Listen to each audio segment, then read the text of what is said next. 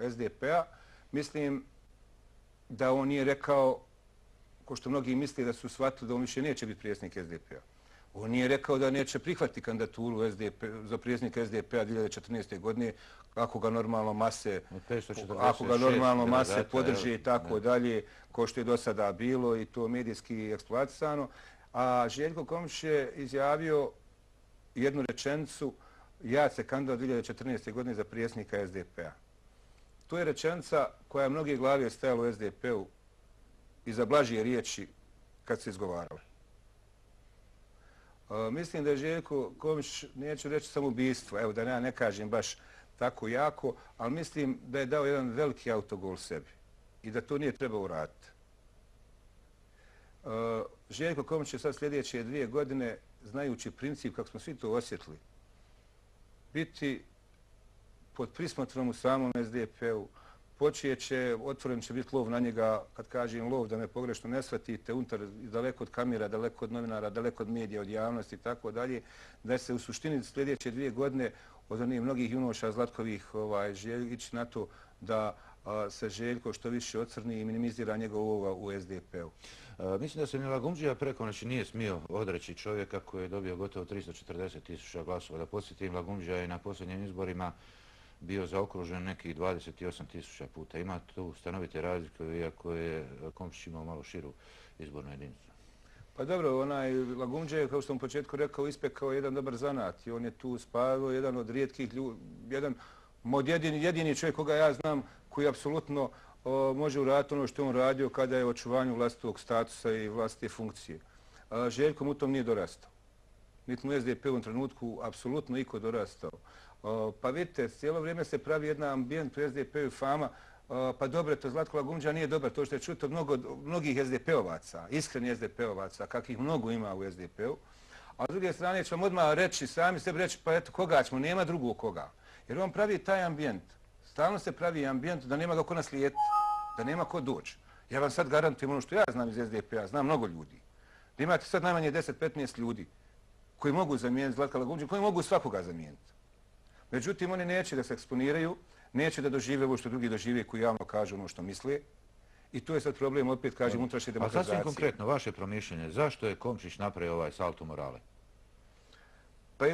U jednoj rečenici, je li moguće to? Pa, Znate nije. i kako razmišlja, bili ste... On je vrlo emotivan, momak, on je vrlo emotivan čovjek, vrlo emotivan čovjek i mogu misliti, meni je bilo čudno kad su rekli nek prenoći pa ćemo sutra. Oni znaju Željko Komića. Željko Komić kako brzo planije, tako brzo i ohladi. I mislim da se igrao na tu kartu znajući ga. Šta je razlog? Ja mogu sada sad priča svak i svak zna šta je razlog. Ja ne bih ulazio u špekulacije, to najbolje njih dvojeca znaju. Samo šta god bio razlog. Neko će reći da je ucijenjen, neko će reći da je popustio, neko će reći jednostavno da je došao u sebi ali oni samo njih dvojica znaju koji je razlog, bilo koji je razlog. Ovo je loše za SDP, loše i za Željko Komšića. E, ja e, nekad najđem nerazumijevanje kod ljudi tu gdje sam, pa kažem, Komšić nije loš dečko. Iako mi prebace kako ti paternalistički govoriš za člana predsjednika dečko, jeste on je mali dečko i pokazuje svojim ponašanjem to. E, moralno se apsolutno ne može staviti e, pogotovo kad je ona egzistencijalna strana moralnosti u pitanju u koš sa ovim junošama koje ste spomenuli prije svega Damirom Hožićem. Nema čovjeka nigdje u aferama, iako je napravio gafova tipa tužakanje na sudu Senad Avdića zajedno s ovim proskribiranim likovima, što je van svake pameti. Međutim, on i Lagumđija su, to je čini mi se dobro profesor Kazas uh, primijetio, intelektualno posve isti kad je u pitanju pristup e, socijaldemokraciji, odnosno nerazumijevanju suštine socijaldemokracije. I Komšić bi stranku da je na čelu vodio vrlo autokratski, jer on naprosto ne zna drugačije. Jer je i e, pomalo neuk, poprilično sirov, neobrazovan. U ostalom je on pretio svoje vremeno predsjedniku Srbije, čini mi se Koštunici, a zamalo u jednom televizijskom sučeljanjavanju nije namlatio i Vakre Zedvedovića. Ma vidite, onaj, možda ste vi s tim dijelom možda i u pravu, ali ja sam baš mislio, vidite, autokratija to je nešto što sada optrećuje SDP. Vođa. I ovaj pokušaj ostavke Željka Komšića sam shvatio kao pokušaj napokon da ne mogu reći da počinje i SDP liči na svog vođu. Jer SDP je počelo u zadnje vrijeme sve više i više ličiti onaj na svog vođu. Počeli se pojavljivati klonirani Zlatka Lagumđija od odjevanja, ponašanja, rečenica, gegova, grimasa i tako dalje. I mislio sam, evo sad će to biti napokon da i on kaže, Žekomića svojom ostavkom je rekao, nismo svi isti ni u SDP-u. Međutim, brzo je, brzo je Željko reterirao i u jednom portalu koji objavio mu izjavu, ja sam ovako naveo. Volio bi da je Željko Komšić izašao i rekao, ja sam nezadovoljan zato što ima 550.000 nezaposlenih. Ja sam nezadovoljan što su mnogi članovi SDP-a uvučeni, bar medijski, u afere. Ja sam nezadovoljan zbog toga što imamo dvije škole po jednim krovom. Ja sam nezadovoljan što nema radnici, se samo spaljuju, gladuju, borci i tako da. Ja sam nezadovoljan zbog ovog stanja za koje za, skoro za dvije godine SDP kao najjača stranka nije učinila ništa ovaj, da popravi to stanje. Zbog toga sam nezadovoljan. Ali kad sam čuo da je nezadovoljan, između ostalo sad govorim ono što su mediji objavili, što su mediji objavili, da je zbog neslaganja ko će Vuk Jeremić treba da ide da dobije saglasnost. Dobro, to svako ozbiljan zna. A, to mi je bilo smiješno. Ja volio da je bio, ja volio da je bio iskren do kraja. On je on iskren momak. On je u, u, mnogo čemu je Željko ovaj, iskren. I volio da je rekao ono što osjeća.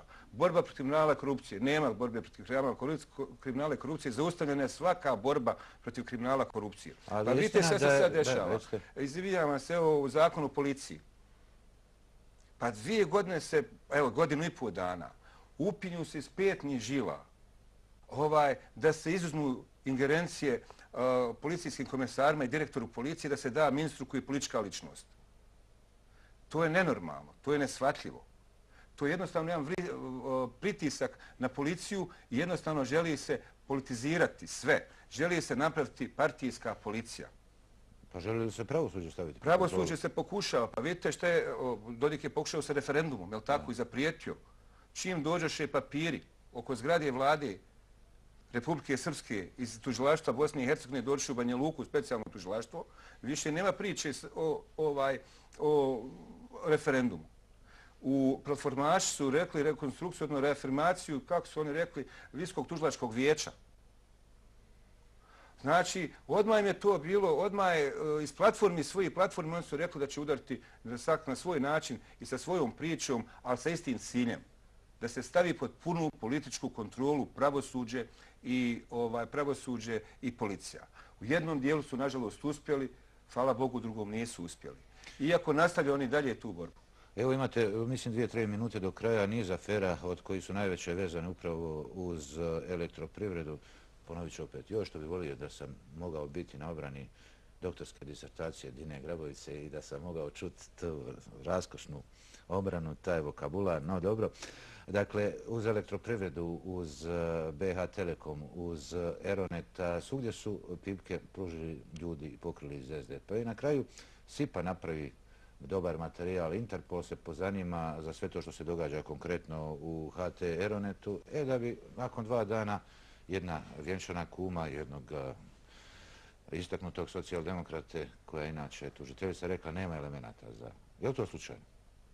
Pa da vam kažem, u ovom trenutku u Bosni i Hercegovini nije opasno krasiti. Ovdje je opasno govoriti protiv kriminala. I boriti se protiv kriminala korupciju, kazivati na kriminal korupcije. To je opasno. Nažalost. To je sad postalo opasno. Prije 6-7 mjeseci SDU je pisao, napisao pismo, u ime SDU-a smo napisali pismo, svim ambasadom nakretovani u Bosni i Hercegovini.